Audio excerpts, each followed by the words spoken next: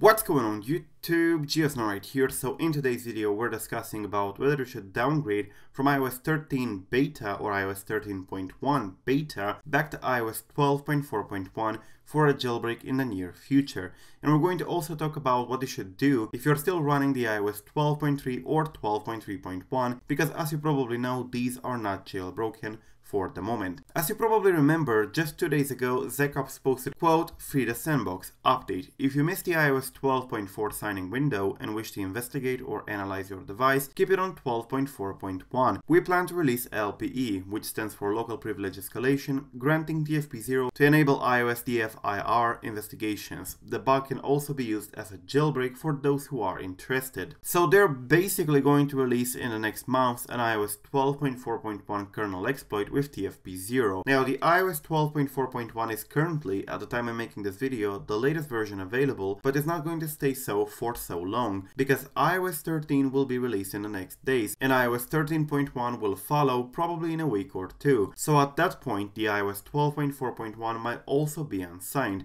So what should you do? Should you downgrade to iOS 12.4.1 or stay on iOS 13 and hope for the best? And what should you do if you're running 12.3 or 12.3.1 for which there is no jailbreak? Well, as you probably know, the iOS 12.4 patches only one single bug, the one found by Ned Williamson which allowed us to jailbreak 12.2, 12.1.4 and lower. However, it also works on 12.4 because Apple patched it originally on 12.3 and 12.3.1 but they did a mistake and reintroduced it on 12.4. However, the bug is not available on iOS 12.3 or 12.3.1, so people who are still running these firmware in here are basically stuck in terms of jailbreaking. So if you're running iOS 12.3 or 12.3.1, I would definitely advise you to go to 12.4.1 and wait in there. And if you're running the iOS 13 or 13.1 beta, again, I would definitely advise you to go to 12.4.1 because there will be a TFP0 exploit released for 12.4.1 by ZecOps,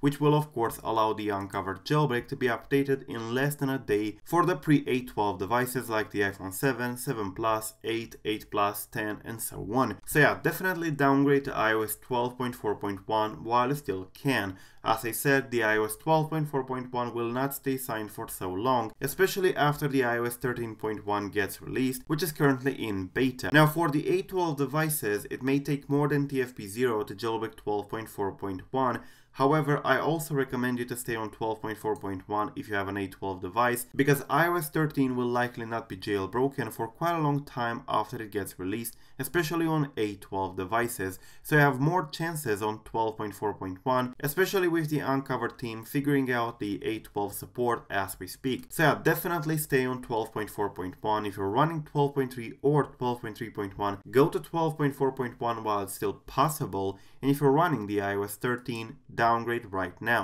Thank you for watching, I am GeoSnow, till the next time subscribe to stay updated. Peace out.